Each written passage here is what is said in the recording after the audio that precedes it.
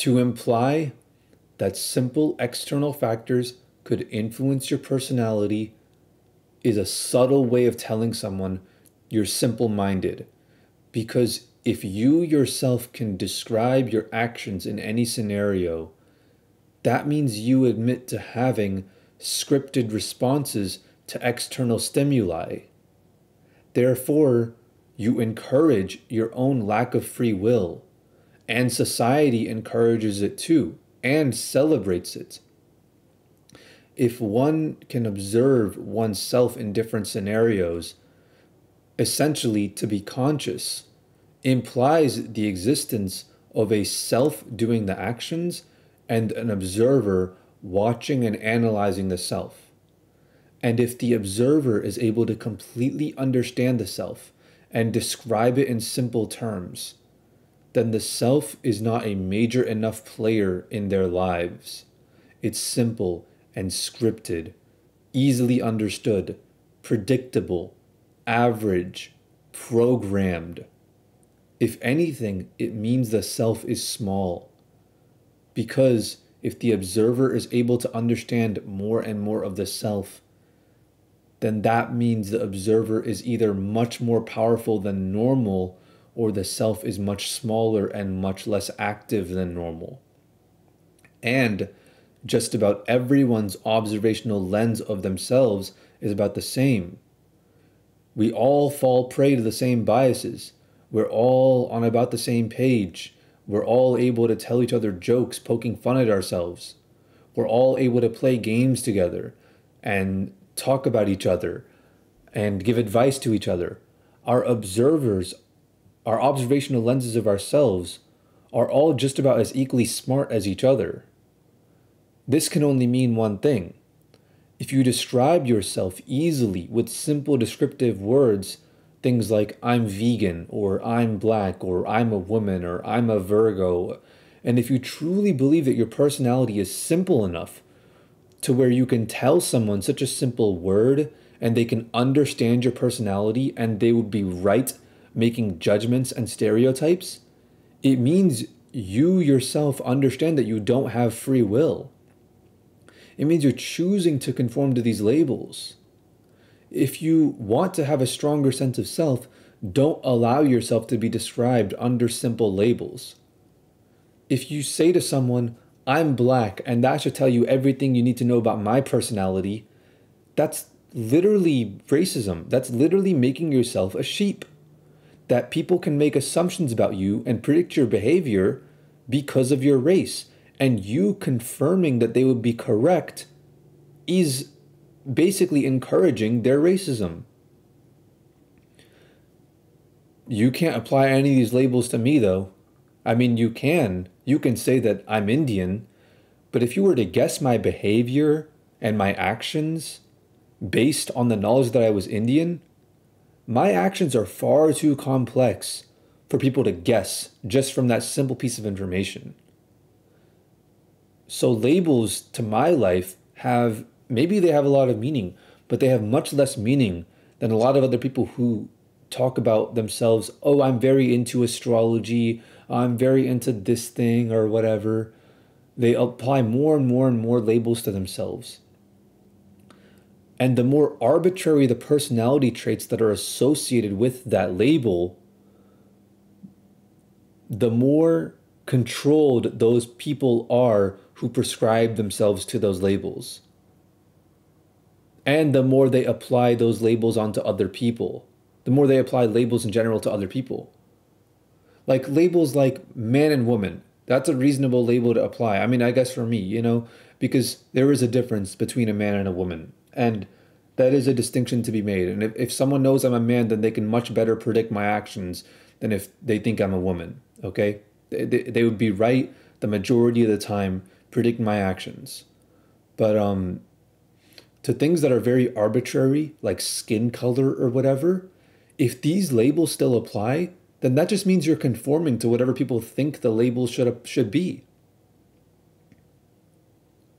And these are the kinds of people who are also so simple minded they also project and they can't view other people as complex individuals.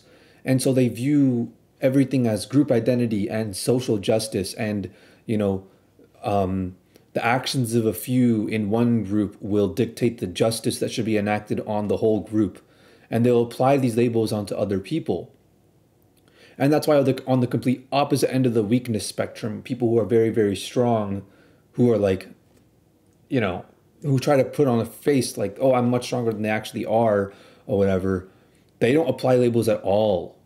Like at, at like they they literally like you'll see people like andrew tate people they'll be like oh depression isn't real. Don't label yourself as depressed. And maybe you can make the argument that labeling yourself as depressed isn't going to help you with your depression but to dismiss labels entirely whether that's good or bad is out of the is irrelevant but it's on the complete opposite end of the spectrum and you'll find it in the complete opposite end of the spectrum of people. And those are the people that labels don't necessarily apply to like that. Now regardless of whether or not this this removing labels from your life regardless of whether or not this this is a good strategy for building your sense of self if you want to lower your sense of self right you basically want to feel more depressed um, and you want to feel more pathetic and feel weaker a good strategy to do that would be to apply more labels to yourself and not only should you apply more labels, you should also try to assign value to these labels, like stereotypes and predictable behaviors, um, such as like like being gay is a personality and things like that. Like, oh, I'm gay and whatever, and so like, and if you expect people to, you know, cast judgments onto you, whether positive or negative, based on that, then that's a that's a real good strategy to become more pathetic or at least view yourself as more pathetic right? Because if being gay is such a major factor in your personality sorry to tell you you don't have much of a personality. Actually i'm not sorry but by applying these labels it also creates a self-fulfilling prophecy and it's likely to come true then it makes you less free. When people are happy, they smile. But it's also true that smiling will make you feel happier. If you force yourself to smile, it will literally make you feel happier. And see, here's the thing. When people apply labels onto onto themselves and other people, it may it's a self it's a cycle, it's a cycle. It'll dehumanize them and also being feeling more dehumanized will push people to apply more labels onto themselves and others. And and this is like a it's it's such a it's such a common sense thing. It's such a common sense thing that's like I I, remember seeing this one clip of like um people try to people try to take words like there's certain people that that want to influence language, they want to use words to their advantage. So they'll take certain words they'll apply a negative or a positive connotation to them and they'll just assume they'll just basically give it to the rest of society and tell them it has a negative or positive connotation. And the sheep of society the npcs of society would be like ah yes if i want to fit in and virtue signal and i don't want to be seen as a bad person i must conform and be like yes this is a bad word.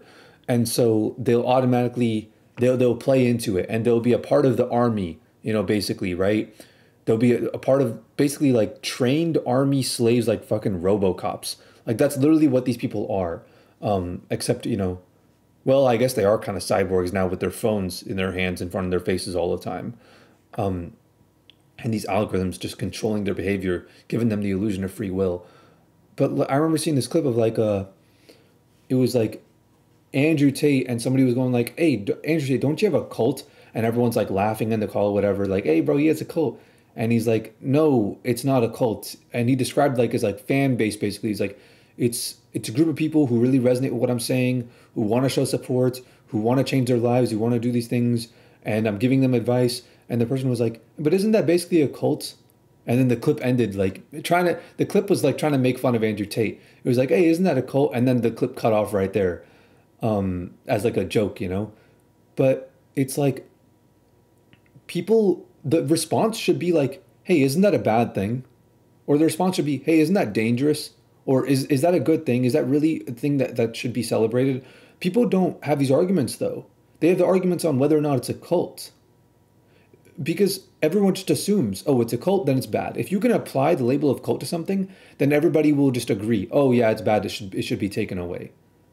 If I can like watch, I'll go to any any influencer, right? And I'll go I'll I'll make an argument that they their fan base is actually a cult and I'll see if they can argue against me. And you know what? Against 99% of all these influencers, I'll win and I'll label them and their and their fan bases as cults. Whether or not I actually think it's a good or bad thing is irrelevant. Um, and you know what? I don't think it's such a bad thing, but I can apply a label of a cult to it. And people just take that and they go, ah, yes, these words have so much meaning. These labels have so much meaning. It's like the word misogynistic, dude. It's like um people will say genuinely good things. Like they'll they'll they'll literally talk about like improving themselves and their lives and the world around them, but because they'll say something that may uh, paint females in a bit of a weaker light, and so you have to take care of females, you have to protect them or whatever, or you have a responsibility to make sure that um, the way the way that you treat females is is literally by default with more respect than the way you treat men. Like when these same people, these same people, like Andrew Tate and all them would be like, "Yeah, I don't give homeless, I don't give uh, money to homeless men. I give money to homeless women." Like these people who literally respect women more than men, they'll be labeled as misogynistic. Whether or not the thing they're talking about is good or bad, people would just go like, "Yeah, they're misogynistic," and then you go in public and you go, "Hey, uh, what do you think about Andrew Tate? Oh, I hate him. Why? Oh, he's misogynistic." They don't even know anything about him. Um, and so that's that's literally that's what I have to say about labels. It's people labels are an excuse to not think. That's what it is. Labels are an excuse for people to, to for people to be like, yeah, I don't want to think in this situation. I, I want to have the pleasure of having opinions without going through the pain of thinking. That's what it is. And in that way, I, I, I view pain as a very valuable process to achieving that pleasure. Um, and it's something that can be avoided in today's society, but I don't think it should be.